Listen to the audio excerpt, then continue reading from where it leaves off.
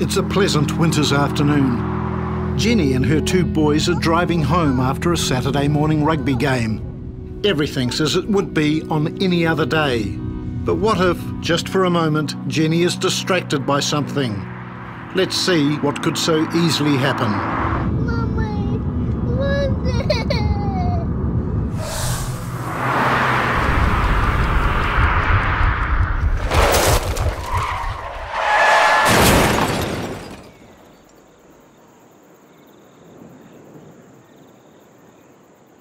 Two-year-old Toby in the back seat is badly shaken, but he is unhurt. His 13-year-old brother Jack is not so lucky. The impact of the crash has shattered his fourth vertebrae, leaving him paralysed. Worse still, the boy's mum, Jenny, has severe injuries. The isolated location of the crash means that she'll die before paramedics can reach her. How do you explain this tragedy to Jenny's family? Who's responsible for the misery unleashed by this brief, violent episode. Was it really her fault? Given what's happened, pointing the finger seems both a waste of time and grotesque.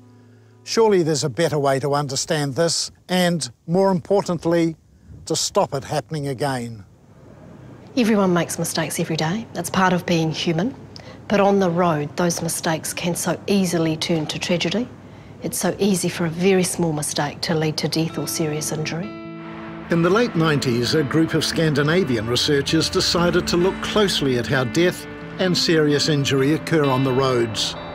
They found that most crashes were not the result of extreme behaviour, but of ordinary people making ordinary mistakes. So they proposed a fundamentally different approach. They called it the SAFE system. The neat thing about the SAFE system is it shows us that people don't have to die on the roads. Crashes will still happen because people make mistakes. But what we try to do is make those crashes survivable so that if a person crashes, they can walk away rather than be carried away. So we sometimes say we don't mind if the panel beaters stay in business, but we're trying to do the undertakers and the ICU wards out of business in terms of road trauma. Road trauma costs this country over $3 billion a year. It's an absolutely horrific amount of money that could be put to such better use. Well, no one wants to be a bad driver, but we all make mistakes from time to time. And in the case of driving a car, even a single mistake can lead to serious injury or loss of life. Humans are vulnerable. We're fragile creatures. We're capable of a lot. We're great drivers most of the time. But when we get it wrong, we simply are not going to be able to withstand the forces of a 100 kilometer an hour crash. We were designed, we evolved to withstand forces more like falling out of a tree or running into a rock at top speed, but not being in a half a ton or a ton of metal going along at 27 meters per second. For the first time, the safe system approach really treats the whole thing as a system rather than saying, I work in the area of education, or I work in the area of enforcement, or I work in the area of engineering and it's someone else's problem. The safe system approach challenges all to work together to work on the same problems at the same time. Road safety is everyone's responsibility. It's drivers, it's local politicians, it's, it's town planners, it's roading contractors, it's vehicle manufacturers and importers, it's line companies. It's everybody's responsibility. Under a safe system, we strengthen every component so that there is a failure in one component of it, whether it be the road or the roadside or the driver error, the rest of the system picks up that slack and it doesn't result in a serious injury or death to someone. Blaming road users for serious crashes has become second nature. But the truth is that even if all of us obeyed all the rules all the time, we'd still only halve the problem. And that's still far too many people dying unnecessarily. The SAFE system looks at the world differently. It's not just about reducing crashes, it's about saving us from death and serious injury. Serious road trauma is preventable. For example, there are often a greater number of scrapes and dents at roundabouts than at regular intersections. But lower speeds and more forgiving impact angles make the crash forces more survivable. It's not just about why someone crashed, the SAFE system asks why they were so badly injured. What parts of the system let them down? How could the crash forces have been reduced? In a safe system, a serious crash isn't someone's fault, it's a system failure. It's not about blaming drivers for the devastation of a crash, it's about asking what we could have done differently to reduce that devastation. What components can we improve to make the system more forgiving so that mistakes don't cost lives or limbs? It's not just about being reactive, it's about being proactive and asking how we can reduce risk. There are four areas the SAFE system focuses on. On road users, on our roads and roadsides, on our vehicles, and on the speeds we drive at. The safe system approach is about people. It takes what we know about how people think and how they behave and puts it at the center of how we design and operate our road transport system. When we drive a car, particularly on familiar roads, we can pretty much do it on autopilot. We can do it without paying close attention to the task. And that's natural and it's normal with anything we practice a lot. But we still have to be ready to assume control, to pay full attention when something unusual happens in the traffic or in the road environment. We road users are merely human. We drop the ball on a regular basis and we're made of complex, fragile bits that break easily.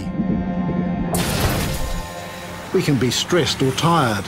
We can be affected by drugs or alcohol.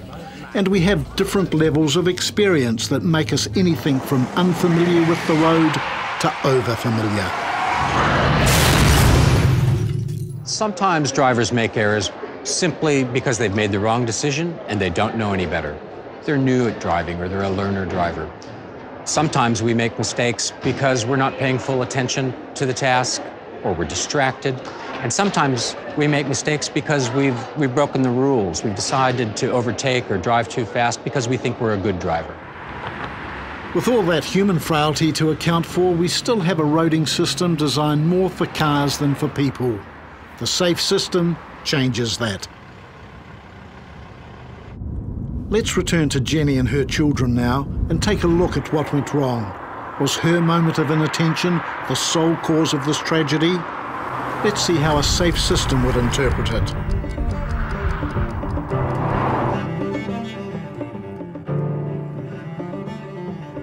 Jenny was probably a good driver, driving on a familiar road, thought nothing would happen. But in retrospect, it's easy to see how that crash could have occurred. She may have been overconfident because she drives that road safely very often. She may have been distracted given what else was going on in the car, and she may have even been a little fatigued given her responsibilities as a mother.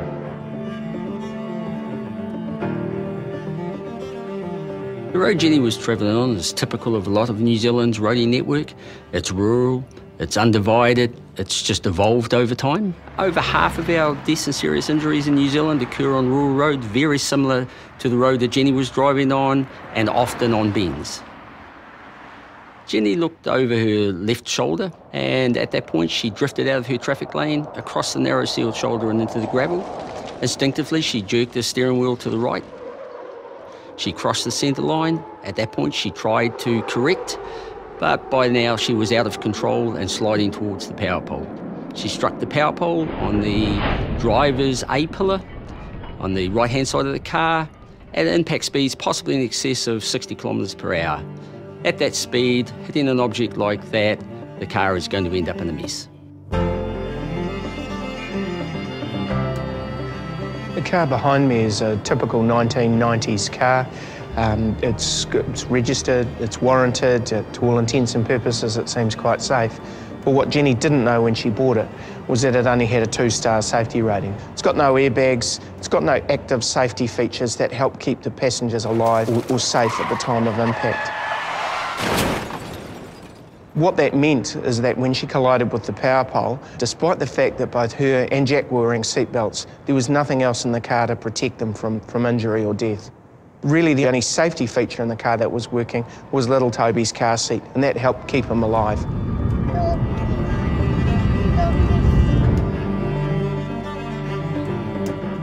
So one of the pillars of the safe system is safe speed.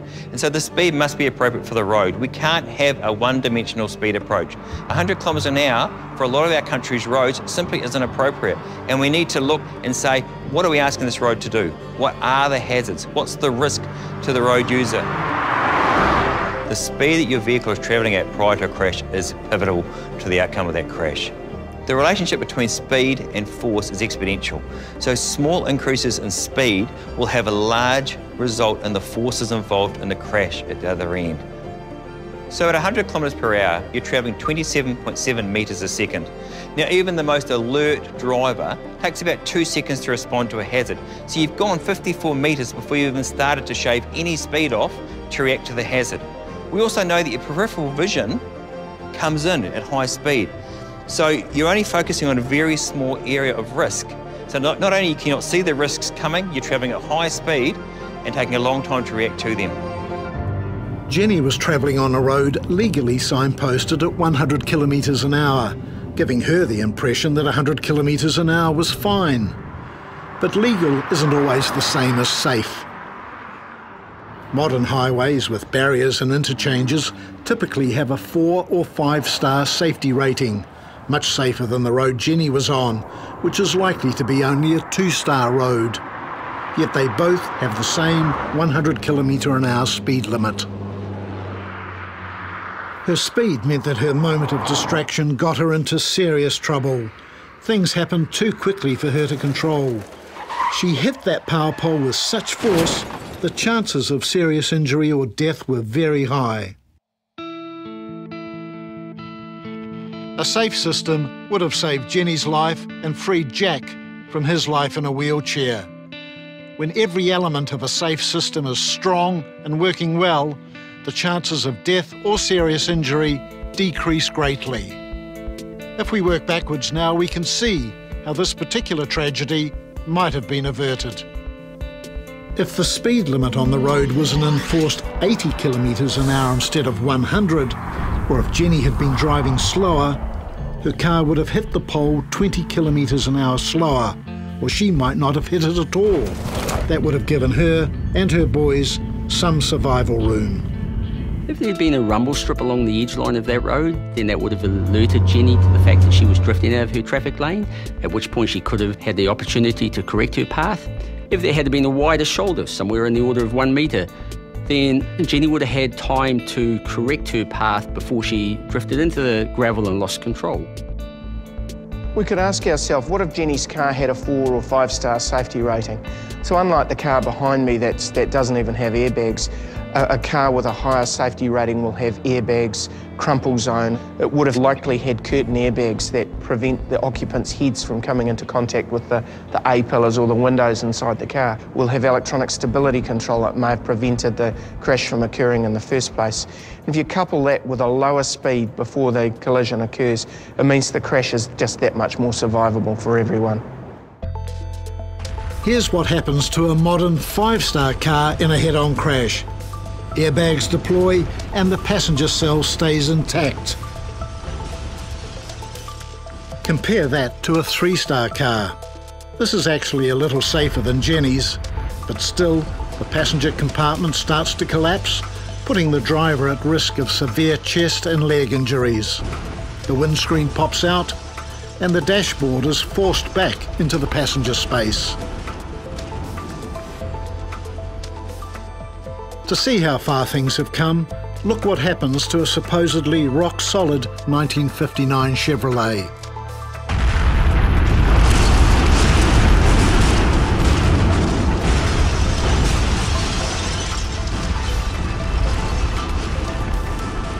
and how its modern counterpart fares in the same crash.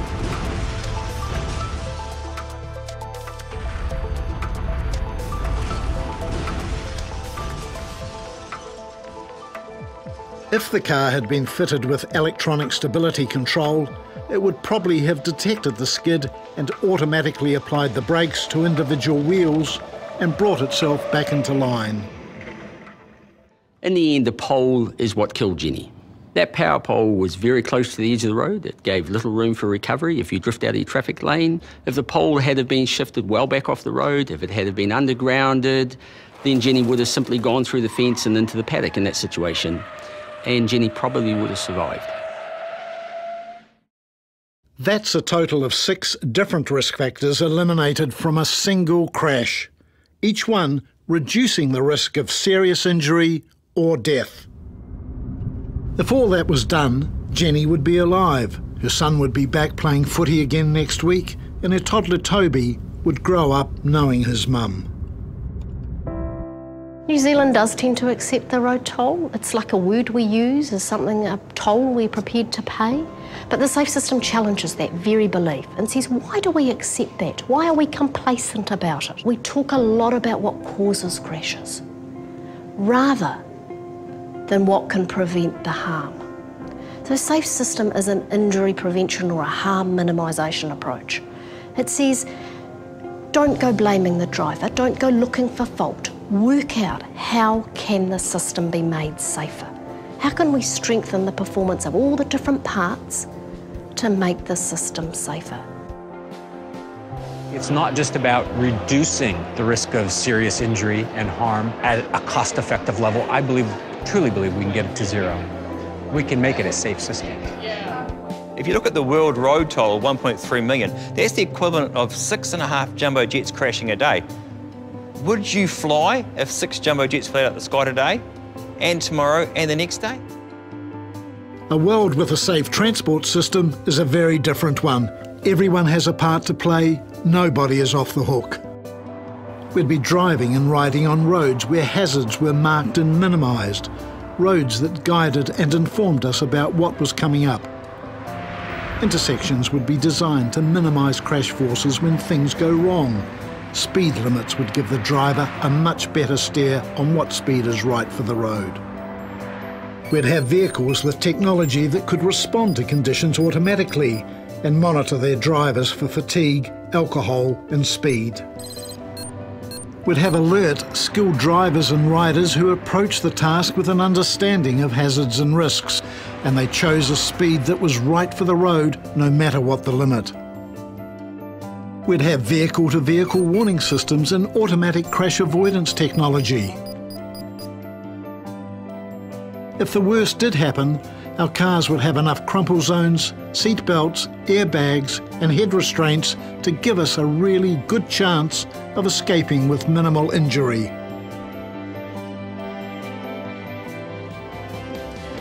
A safe system allows for the human factors in our roading system, realising we all make mistakes and accepting that our bodies have a very limited ability to withstand force. It asks how roads and roadsides can be made more forgiving of human error. It looks at how our vehicles can save lives and reduce harm. And it ensures the speeds we travel are appropriate for the roads we drive and for the other people who use those roads, like pedestrians and cyclists. The neat thing is that once we start actually creating a truly safe road system in New Zealand, horror crashes will disappear from the six o'clock news. The safe system is a proven approach. It's working brilliantly internationally. Basically, the world is divided into two types of countries those countries that are following this approach and those that aren't. And the world leaders in the safe system approach, they have a road toll about half of New Zealand's current road toll. The safe system belongs to all of us. If we're going to create a truly safe road system in New Zealand, everyone has to do their bit. So it's a shared responsibility principle. And when we see a serious road crash out there, we need to all ask ourselves, what could we have done as a country that could have avoided that level of trauma for that family? What could we have done as individuals and as professionals who all share responsibility for safety? The beauty of this simple but profound new approach to road safety is that all of us have a part to play in it. Each of us can help reduce the risks we all face in getting around every day. If we can do that, then we can look forward to a future where we make safer journeys as part of a truly safe system.